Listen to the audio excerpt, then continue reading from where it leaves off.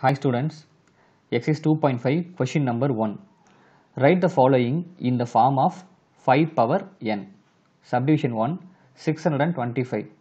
Okay இந்த question என்ன சொல்கிறாங்கன்னா எந்த ஒரு வேல்யூ கொடுத்தாலும் அதை ஃபைவ் உடைய பவராக நம்ம கன்வெர்ட் பண்ணணும் விச் மீன்ஸ் ஃபைவ் எத்தனை டைம் வருதோ அதை கவுண்ட் பண்ணிவிட்டு நம்பர் ஆஃப் டைம்ஸை பவரில் என் வேல்யூக்கு பதிலாக அப்ளை பண்ணணும் ஃபஸ்ட் சப்டிஷனில் பாருங்கள் சிக்ஸ் ஹண்ட்ரட் டுவெண்ட்டி ஃபைவ் அப்படின்னு கொடுத்துருக்காங்க ஸோ கொடுத்துருக்க இந்த சிக்ஸ் ஹண்ட்ரட் டுவெண்ட்டி ஃபைவ் அப்படின்ற இந்த வேல்யூவை நம்ம ஃபைவ் டேபிளில் ரெடியூஸ் பண்ணணும்.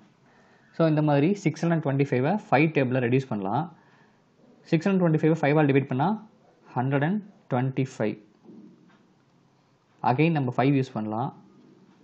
Twenty five five are hundred and twenty five once again five use பண்ணலாம். Five five are twenty five again five one five are five இப்படி இந்த ப்ராசஸ் ஒன்னை ரீச் பண்ணுற வரைக்கும் நம்ம கண்டினியூ பண்ணிட்டே இருப்போம். Okay therefore six hundred and twenty five equal to five into five into five into five five எத்தனை time வருதுன்னு பாருங்கள் ஃபோர் டைம்ஸ் இருக்குது so five power four so six hundred and twenty ஃபைவை ஃபைவ் பவர் சம் நம்பர் இந்த மாதிரி நம்ம convert பண்ணியாச்சு. Next subdivision two one by five so one by five அப்படின்னு சொல்லிட்டு ஒரு நம்பர் கொடுத்துருக்காங்க. இந்த நம்பரை நம்ம ஃபைவ் பவர் என் அப்படின்னு மாற்றணும் ஃபைவ் பவர் சம் நம்பர் இங்கே இருக்கிறதே பார்த்தீங்கன்னா ஃபைவ் தான் இருக்குது பட் அந்த ஃபைவ் டினாமினேட்டில் இருக்குது நமக்கு வேல்யூ பார்த்தீங்கன்னா five power n which means இது நியூமினேட்டரில் வரணும். அப்போது இந்த ஃபைவ் என்ன பண்ணுவோம்? இந்த ஃபைவை இதோடைய பிளேஸ்லேருந்து நியூமரேட்டருக்கு சேஞ்ச் பண்ணுவோம். ஸோ ஒன் பை ஃபைவ் இந்த வேல்யூவை ஃபைவை நம்ம நியூமரேட்டருக்கு கொண்டு போகணும். இங்கே ஆல்ரெடி ஒன் இருக்குது. So one into five five தான் வரும். பட் இதோடைய பவர் எப்படி சேஞ்ச் ஆகும் பாருங்கள் நமக்கு ஆல்ரெடி ஒரு ஃபார்முலா இருக்குது. One by A power M இப்போது இந்த ஏ பவர் எம்மை நம்ம நியூமரேட்டர் கொண்டு போனோம்னா இதோடைய பவர் மைனஸாக சேஞ்ச் ஆகும். அப்போது ஏ பவர் மைனஸ் எம் அப்படின்னு சேஞ்ச் ஆகும். இதே ஃபார்மில் இங்கே அப்ளை பண்ணோம்னா இங்கே ஒன் பை ஃபைவ் பாருங்கள் ஃபைவோட பவர் இங்கே எதுவுமே இல்லை. அப்போ அங்கே ஒன் இருக்குது அப்படின்னு அர்த்தம். ஸோ ஃபைவ் பவர் ஒன் இப்போது இந்த ஃபைவ் பவர் ஒன்னை நம்ம நியூமரேட்டர் கொண்டு போகும்போது ஃபைவ் பவர் மைனஸ் ஒன் அப்படின்னு சேஞ்ச் ஆகிடும் ஸோ இந்த ஒன் பை ஃபைவ் அப்படின்ற இந்த ஃப்ராக்ஷனை இந்த நம்பரை five power n some number அந்த நம்பர் பாசிட்டிவாகவும் இருக்கலாம் நெகட்டிவாகவும் இருக்கலாம். So five power minus one அப்படின்னு கன்வெர்ட் பண்ணிட்டோம். Next subdivision three square root of five இப்படி ஒரு நம்பர் கொடுத்துருக்காங்க. இதை நம்ம ஃபைவ் பவர் சம்திங்னு மாற்றணும் ஃபைவ் பவர் சம் நம்பர் நம்ம ஆல்ரெடி பார்த்துருக்கோம். இது வந்து ரேடிக்கல் நோட்டேஷன் இருக்குது. நம்ம ஃபைவ் பவர் என் அப்படின்றத மாற்றுறோம் அப்படின்னா இதோடைய எக்ஸ்போனன்ஷியல் டேர்முக்கு நம்ம மாற்றுறோம் எக்ஸ்போனன்ஷியல் ஃபார்ம் அப்படின்னு சொல்லுவோம். ஸோ இந்த ரேடிக்கல் நோட்டேஷன்லேருந்து எக்ஸ்போனன்ஷியல் ஃபார்முக்கு எப்படி கன்வெர்ட் பண்ணுறது அப்படின்றத நம்ம ஆல்ரெடி ஒரு வீடியோவில் பார்த்துருக்கோம். அதே சேம் லாஜிக்கை இங்கே நம்ம யூஸ் பண்ணலாம். ஸோ ஃபைவ் பவர் ஃபைவோடைய பவர் பார்த்தீங்கன்னா ஒன் பட் இந்த ரேடிக்கல் நோட்டேஷனில் இந்த இடத்துல ரூட் வேல்யூ பார்த்தீங்கன்னா எதுவுமே இல்லை. இது ஒரு ஸ்கொயர் ரூட் இல்லையா? ஸ்கொயர் ரூட்டோட வேல்யூ பார்த்தீங்கன்னா இந்த இடத்துல டூ அப்போது டினாமினேட்டரில் டூ அப்படின்னு வரும்.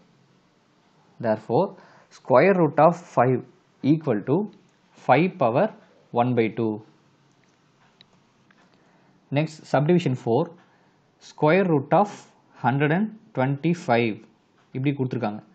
ஃபர்ஸ்ட் இந்த ஸ்கொயர் ரூட் அப்படியே வச்சுக்கலாம்.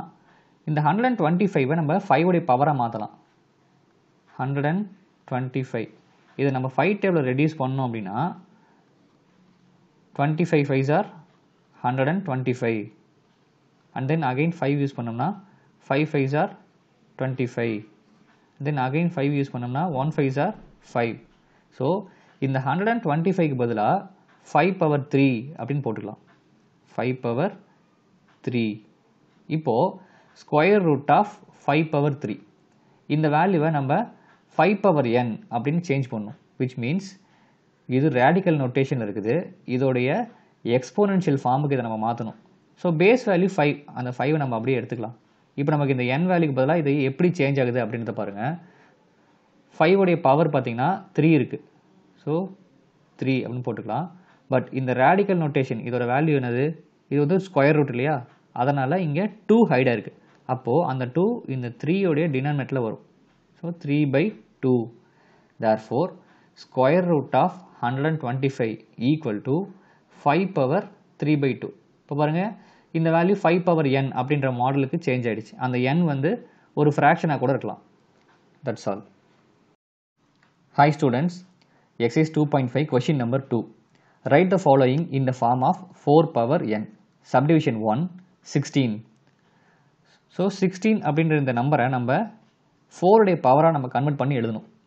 ஸோ சிக்ஸ்டீனை ஃபோர் டேபிளில் கன்வெர்ட் பண்ணோம் அப்படின்னா ஃபோர் ஃபோர்ஸ் ஆர் சிக்ஸ்டீன் அப்படின்னு வரும். இப்போ பாருங்கள் ஃபோர் இங்கே டூ டைம்ஸ் இருக்கனால ஃபோர் பவர் டூ அப்படின்னு போட்டுக்கலாம். Therefore sixteen equal to four power two which means four power n அப்படின்ற இந்த ஃபார்முக்கு இதை நம்ம கன்வெர்ட் பண்ணியாச்சு. நெக்ஸ்ட் சப்டிவிஷன் டூ எயிட் அப்படின்னு கொடுத்துருக்காங்க. இப்போது கொடுத்துருக்க இந்த எயிட்டை நம்ம ஃபோர் பவர் என் அப்படின்ற ஃபார்முக்கு மாற்றணும் ஸோ எயிட்டை ஃபோர் டேபிளில் ஸ்ப்ளிட் பண்ணோம் அப்படின்னா ஃபோர் டூஸ் ஆர் எயிட் அப்படின்னு கிடைக்கும். பட் இந்த இடத்துல பாருங்கள் நமக்கு ஃபோர் பவர் என் வரணும் அப்படின்னா இந்த பேஸ் வேல்யூ எல்லாமே ஒரே மாதிரி இருக்கணும். இங்கே ஃபோர் இருந்தால் இங்கேயும் ஃபோர் தான் இருக்கணும். நமக்கு ஆக்சுவலாக ஆன்சர் வந்து பார்த்திங்கன்னா ஃபோரில் தான் வரணும். பட் இங்கே ஃபோர் இருக்குது இன்னொரு வேல்யூ பார்த்திங்கன்னா டூ அப்படின்னு இருக்குது ஸோ இந்த டூவை நம்ம ஃபோருடைய பவராக மாற்றணும் அதனால் இந்த டூக்கு பதிலாக என்ன எடுத்துக்கலாம் அப்படின்னா ஸ்கொயர் ரூட் ஆஃப் ஃபோர் அப்படின்னு எடுத்துக்கலாம். பிகாஸ் ஸ்கொயர் ரூட் ஆஃப் ஃபோரோட வேல்யூ பார்த்தீங்கன்னா டூ அப்படின்னு நமக்கு ஆல்ரெடி தெரியும். அதனால் இந்த டூவுக்கு பதிலாக ஸ்கொயர் ரூட் ஆஃப் ஃபோர் அப்படின்னு எடுத்துக்கலாம். இப்போது இந்த இடத்துல ஃபோர் இருக்குது which means four power one இருக்குது multiply by square root of four so four power one into இந்த ஸ்கொயர் ரூட் ஆஃப் ஃபோரை நம்ம ரேடிக்கல் நோட்டேஷன்லேருந்து எக்ஸ்போனன்ஷியல் ஃபார்முக்கு மாற்றணும் அப்படின்னா four power one by two which means இந்த ஸ்கொயர் ரூட்டுடைய ரேடிக்கல் நோட்டேஷன்லேருந்து எக்ஸ்போனன்ஷியல் ஃபார்முக்கு போகும்போது பவர் ஒன் பை டூவாக கன்வெர்ட் ஆகும். ஓகே இப்போது four power one into four power one by two base value காமனாக இருக்கும்போது சென்டரில் மல்டிப்ளிகேஷன் இருந்தது அப்படின்னா பவரை நம்ம ஆட் பண்ணுவோம். நமக்கு ஒரு ஃபார்ம் இருக்குது. A power M into A power N which is equal to A power M plus N base value காமனாக இருக்கும்போது சென்டரில் மல்டிப்ளிகேஷன் இருந்தது அப்படின்னா பவர்ஸ் ஆட் ஆகும். ஸோ காமன் பேஸ் இங்கே ஏ எடுத்துக்கிட்டாங்க இல்லையா? அதே போல் இங்கே காமன் பேஸ் நம்ம ஃபோர் எடுத்துக்கணும். இப்போது பவர்ஸ் ஆட் பண்ணும். One plus one by two இதை ஆட் பண்ணோம் அப்படின்னா இதை ஆட் பண்ண முடியாது பிகாஸ் இது ஒரு ஹோல் நம்பர் இது ஒரு ஃப்ராக்ஷன் ஸோ இதை கிராஸ் மல்டி பண்ணோம்னா two ones are two two plus one three so three by two அப்படின்னு கிடைக்கும். Therefore eight equal to four power three by two so அவங்க சொன்ன மாதிரி கொடுத்துருக்க இந்த வேல்யூவை four power n four power some number அப்படின்ற ஃபார்முக்கு நம்ம கன்வெர்ட் பண்ணியாச்சு. Next subdivision three thirty two இந்த மாதிரி ஒரு நம்பர் கொடுத்துருக்காங்க. இப்போது கொடுத்துருக்க இந்த நம்பரையும் நம்ம ஃபோருடைய பவராக கன்வெர்ட் பண்ணோம். ஃபர்ஸ்ட் இந்த தேர்ட்டி டூவை ஃபோர் டேபிளில் ரெடியூஸ் பண்ணலாம். ஃபோர் டேபிள் ரெடியூஸ் பண்ணோம்னா eight fours are thirty two again four டேபிளில் போட்டோம்னா டூ ஃபோர்ஸ் ஆர் எயிட் இப்போ லாஸ்ட் இங்கே டூ இருக்கு இல்லையா? அதனால் டூ டேபிள் யூஸ் பண்ணலாம். One two sir two so thirty two equal to four into four into two okay இப்போது thirty two அப்படின்ற இந்த நம்பரை ஃபோர் டேபிளில் நம்ம ஃபோருடைய பவராக மாற்றணும் அப்படின்னா இந்த பேஸ் வேல்யூ எல்லாமே ஒரே மாதிரி இருக்கணும். இங்கே ஃபோர் இருக்குது இங்கே ஃபோர் இருக்குது பட் இந்த இடத்துல பார்த்தீங்கன்னா டூ தான் இருக்குது ஸோ இதை வந்து ஃபோர் ஸ்கொயர் அப்படின்னு எழுதிக்கலாம். இன்டூ இந்த டூக்கு பதிலாக நம்ம ஆல்ரெடி பார்த்துருக்கோம். டூக்கு பதிலாக ஸ்கொயர் ரூட் ஆஃப் ஃபோர் அப்படின்னு எடுத்துக்கலாம். பிகாஸ் ஸ்கொயர் ரூட் ஆஃப் ஃபோரோட வேல்யூ பார்த்தீங்கன்னா டூ அப்படின்னு கிடைக்கும். அதனால் இந்த டூக்கு பதிலாக ஸ்கொயர் ரூட் ஆஃப் ஃபோர் அப்படின்னு எடுத்துக்கலாம். இப்போது இந்த பேஸ் வேல்யூ எல்லாமே காமனாக தான் இருக்குது. இங்கே ஃபோர் ஸ்கொயர் இருக்குது இன்டூ இந்த ஸ்கொயர் ரூட் ஆஃப் ஃபோர் பார்த்தீங்கன்னா ரேடிக்கல் ஃபார்மில் இருக்குது. இதை நம்ம எக்ஸ்பொனன்ஷியல் ஃபார்முக்கு மாற்றணும் அப்படின்னா four power one by two அப்படின்னு வரும். இப்போது பேஸ் வேல்யூ எல்லாமே காமனாக இருக்குது சென்ட்ரலில் மல்டிப்ளிகேஷன் இருந்தது அப்படின்னா பவர்ஸ் ஆட் ஆகும் இல்லையா? So four power two plus one by two இப்போது இதை ஆட் பண்ணோம் அப்படின்னா கிராஸ் மல்டி பண்ணும்.